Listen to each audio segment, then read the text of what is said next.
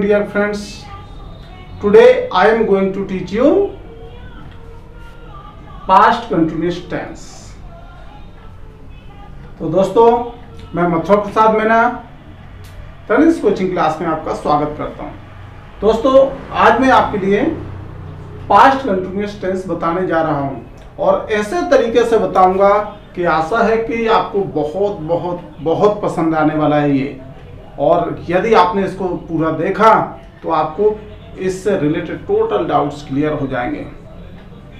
तो दोस्तों, यदि आपको हमारा वीडियो पसंद आता है तो हमारे इस वीडियो को लाइक शेयर और यदि आपने हमारा चैनल सब्सक्राइब नहीं किया है तो सब्सक्राइब कर बेल आइकन ज़रूर दबा दें, जिससे हमारे द्वारा बनाए जाने वाले प्रत्येक वीडियो का नोटिफिकेशन आप तक पहले पहुँच सके। तो friends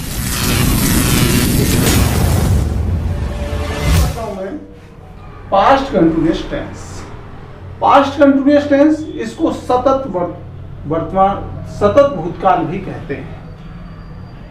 पहचान रहा था, रही थी रही थी। इसकी पहचान होगी सेंटेंस के अंत में रहा था, रही थी, रहे थे। आता है, इसका मीन्स वो पास्ट कंटिन्यूस टेंस है। अब पास्ट कंटिन्यूस टेंस को बनाने के लिए अफर्मेटिव सेंटेंस जब आप इसका बनाते हो मीन साधारण वाक्य जब बनाते हो तो स्ट्रक्चर काम करता है। Subject plus helping verb plus V four plus object इसके पहले वाले वीडियो मैंने आपको बता ही दिया था कि यहाँ वी फोर का मीन्स होगा V one plus I N G V one plus I N G यानी कि वर्ब के फ़र्स्ट फॉर्म में जब आप आई एन जी लगा देते हैं तो वो वर्ब का फोर्थ फॉर्म बन जाता है। आप V one plus I N G करें या डायरेक्ट वी फोर आप लिखें, आपका काम अब आपको देख रहे हैं यहाँ पर हेल्पिंग वर्ब तो मैंने सब्जेक्ट साइड में लिखे हुए हैं। We you they and plural number के साथ वर्ब हेल्पिंग वर्ब यूज़ होगा। और he she it singular number means any name और आई इनके साथ वॉज़ हेल्पिंग वर्ब यूज़ होना है। मीनिंग सभी को इसका पहले बता दिया, फिर देख ले वी मीन्स हम यू मीन्स आप दे मीन्स वे प्लूरल नंबर बहुवचन, दो या दो से अधिक लोगों के लिए। ही वह पुरुष के लिए यूज़ होगा शी वह स्त्री के लिए। इट निर्जीव वस्तुओं के लिए यूज़ होगा singular number any singular name के लिए। आई मैं। अब हम देखते हैं दोस्तों इसका सेंटेंस जब बनाते हैं तो इसका एग्जांपल लेते हैं। सपोज़ मैंने लिया है, मैं गाना गा रहा था। मैं गाना गा रहा था। अब मैं गाना गा रहा था, इसको आप देखें, इससे आपको पता लग जाएगा लास्ट में रहा था, दिया है मीन्स ये आपका पास्ट कंटिन्यूस से बिलोंग करता है। और ये इंग्लिश में यदि आप पहचानते तो हेल्पिंग वर्ब याद रखें, जब सेंटेंस में was were helping verb use हो साथ में वी फोर यूज़ हो मीन्स पास्ट कंटिन्यूस टेंस है वो। अब इसे जब बनाने के लिए सबसे पहले हम देखते हैं सब्जेक्ट मैं के लिए यूज़ होगा। आई हेल्पिंग वर्ब आई के साथ यूज़ होगा was I was V four गा, यहाँ गा रहा है तो गाने के लिए आएगा सिंग लेकिन फोर्थ फॉर्म चाहिए तो आप लगा दें इसमें I N G I was going sorry I was singing a song I was singing a song मैं गाना गा रहा था। यदि दोस्तों इसी का अब सबके साथ आप बनाते हैं, वह गाना गा रहा था। He was singing a song वह गाना गा रही थी। She was singing a song it का यूज़ इसमें होगा नहीं। इट निर्जीव के लिए चलता है या टाइम, मौसम बताने के लिए यूज़ करते हैं तो आप बोल सकते हैं इसकी जगह कि वर्षा हो रही थी। तो इट मीनिंगलेस होगा वहाँ पर इसका बने it was running singular number any name के लिए तो राम गाना गा रहा था, Ram was singing a song मैं गाना गा रहा था I was singing a song बनाई दिया मैंने। अब आप देखते हैं इस साइड वी का यूज़ करते हैं, हम गाना गा रहे थे। तो वी लेकिन इनके साथ वर्ब यूज़ होगा helping verb verb we were singing a song आप गाना गा रहे थे you were singing a song वे गाना गा रहे थे they were singing a song Ram और श्याम गाना गा रहे थे, Ram and Shyam were singing a song अब जब आप इसको निगेटिव में चेंज करते हैं तो निगेटिव बनाने के लिए सेंटेंस में आएगा मैं गाना नहीं गा रहा था. सपोज़ सेंटेंस आया, मैं गाना नहीं गा रहा था। मैं गाना नहीं गा आप इसको ट्रा, ट्रांसलेट करते हैं तो आपको ओनली चेंज क्या करना है? हेल्प इन वर्ब के बाद नॉट का यूज़ करना है। तो आपका सेंटेंस बन जाएगा I was not singing a song I was not singing a song यहाँ पर आप इसका शॉर्ट फॉर्म यूज़ कर सकते हैं तो wasn't I wasn't singing a song सभी के साथ निगेटिव बनाएँगे, वह गाना नहीं गा रहा था। He was not singing a song या he wasn't singing a song वह गाना नहीं गा रही थी। She was not singing a song या फिर she wasn't singing a song name से बना, राम गाना नहीं गा रहा था। Ram wasn't singing a song मैं गाना नहीं गा रहा था, बनाई दिया मैंने। आप देखते हैं, हम गाना नहीं गा रहे थे वी वर तो short form were not weren't we weren't singing a song आप गाना नहीं गा रहे थे you weren't singing a song वे गाना नहीं गा रहे थे they weren't singing a song plural number Sita और गीता गाना नहीं गा रही थी।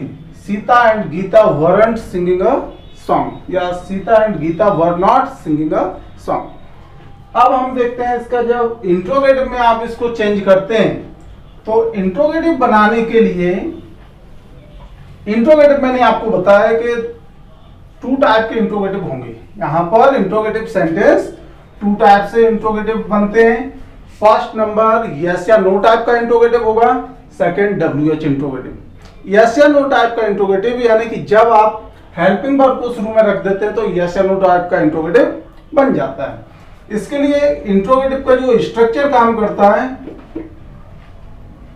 वो होगा यहाँ पर helping verb helping verb plus subject plus V four plus object last में क्वेश्चन मार्क और जब इसी को आप इंट्रोगेटिव निगेटिव में करते हैं तो हेल्पिंग वर्ब के बाद नोट लगा देते हैं। और डब्ल्यू एच इंट्रोगेटिव के लिए आपको डब्ल्यू एच वर्ड पहले रखना है। इसके बाद helping verb then subject V four plus object then question mark अब सेंटेंस बनाते सपोज़ मैंने बोला, क्या मैं गाना गा रहा था? जब सेंटेंस की शुरुआत होती है, क्या से? क्या मैं गाना गा रहा था?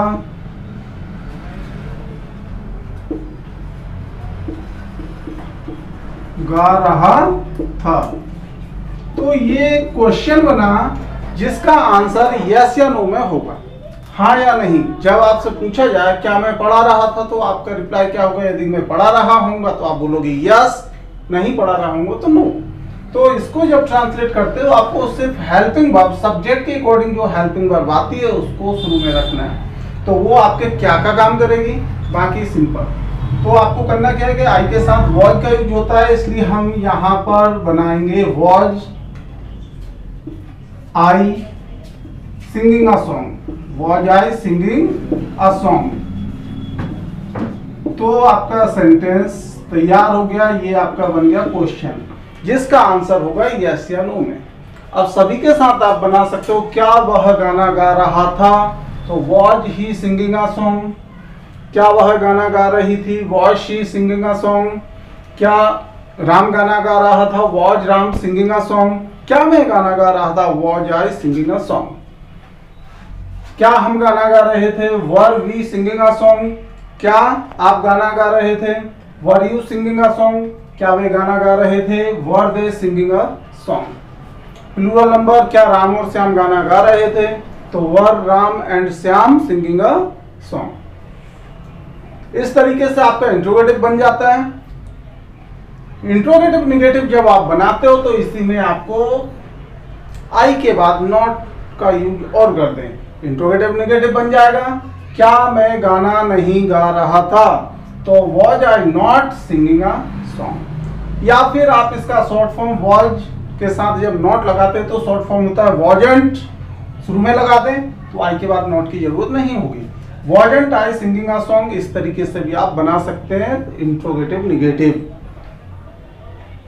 सभी के साथ अगर हम बनाते हैं, क्या वह गाना नहीं गा रहा था? तो यहाँ पर was he not singing a song क्या वह गाना नहीं गा रही थी? Was he not singing a song क्या राम गाना नहीं गा रहा था? Was Ram not singing a song क्या मैं गाना नहीं गा रहा था? Was I not singing a song क्या हम गाना नहीं गा रहे थे? Were we not singing a song क्या आप गाना नहीं गा रहे थे? Were you not singing a song क्या वे गाना नहीं गा रहे थे? Were they not singing a song क्या राम और श्याम गाना नहीं गा रहे थे? Were Ram and Shyam not singing a song तो डियर स्टूडेंट्स इस तरीके से इंट्रोगेटिव निगेटिव क्लियर हो गया होगा। अब हम बनाते हैं डब्ल्यू एच इंट्रोगेटिव जब डब्ल्यू एच इंट्रोगेटिव मीन्स इसको आप इंफॉर्मेशन टाइप इंट्रोगेटिव भी कह सकते हैं.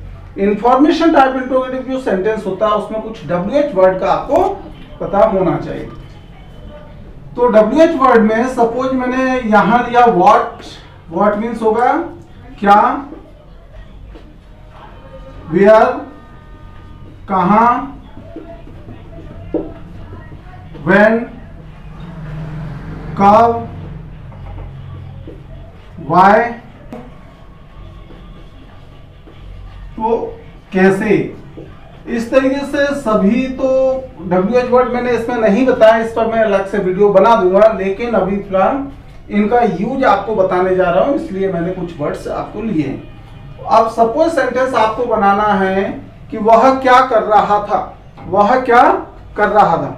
तो ध्यान दें क्या जब बीच में आता है तो वॉट क्या के लिए काम करेगा, लेकिन क्या से सेंटेंस शुरू होता है, क्या मैं गाना गा रहा था तो हेल्पिंग वर्ब आगे रख देते हैं तो वो क्या का काम करती है। अभी मैं क्या कर रहा था, वह क्या कर रहा था, जब क्या बीच में आता है तो उसके लिए डब्ल्यू एच वर्ड का यूज़ करना होता है इंफॉर्मेशन देना होती है, इसलिए उसको हम डब्ल्यू एच इंट्रोगेटिव या इंफॉर्मेशन टाइप इंट्रोगेटिव सेंटेंस कहते हैं। तो देखें सेंटेंस वह क्या कर रहा था? तो सेंटेंस है, वह क्या कर रहा था? क्या कर रहा था? तो इसके लिए आपको क्या करना है? सबसे पहले जो नॉर्मल इंट्रोगेटिव बनता है यस एंड नो टाइप का इंट्रोगेटिव बना लें। तो यस एंड नो टाइप में क्या करना है? वह के साथ हेल्पिंग वर्ब वह मीन्स ही ही के लिए कौन सा हेल्पिंग वर्ब काम करेगा? वॉच तो सबसे पहले हमने यहाँ पर रख दिया was was he was he doing was he doing ये यस का बन गया. अब क्या बोला है? इसलिए यहाँ पर वॉट और लगा दे तो क्वेश्चन बन जाएगा वॉट वॉज़ ही डूइंग वह क्या कर रहा था? मैं क्या कर रहा था?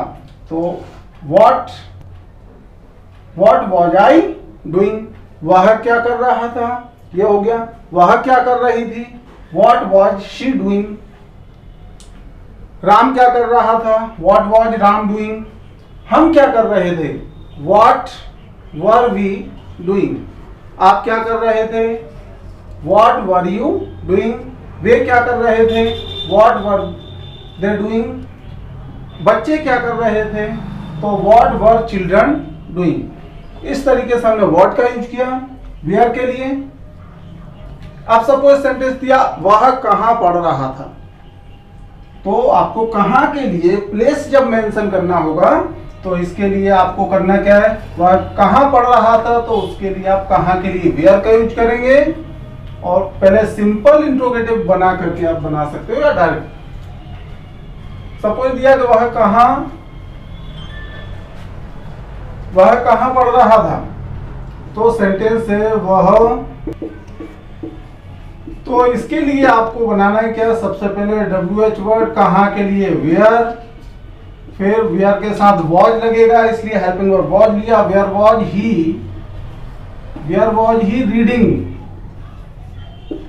where was he reading और स्टडिंग कोई सा भी आप लगा सकते हो, वह कहाँ पढ़ रहा था, वह कहाँ अब सपोज़ हमने ऐसे ही बनाया कि वह कब पढ़ रहा था तो आपको सिर्फ़ वेयर को चेंज कर दें वेयर के प्लेस पर वैन को अप्लाई कर दें। तो